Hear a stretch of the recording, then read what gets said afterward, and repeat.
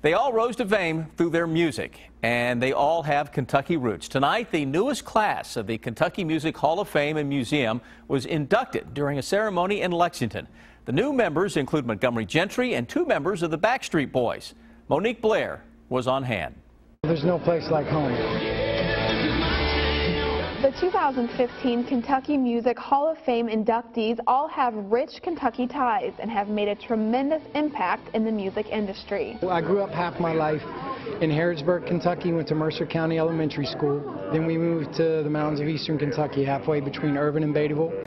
And I graduated from Estill County High School. Country duo Halfway to Hazard received a humanitarian award tonight for raising more than $1 million towards eastern Kentucky concerns. Kentucky is such a rich history of talent and artists and writers and singers and, and wow. Retired Vice President of Real Property Special Projects for WKYT, Tom Bennett was awarded the Distinguished Service Award tonight for his advocacy on behalf of the museum.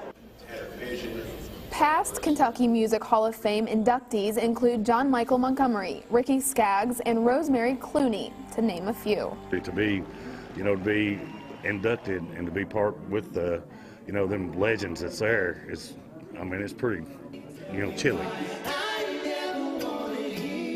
In Lexington, Monique Blair, WKYT.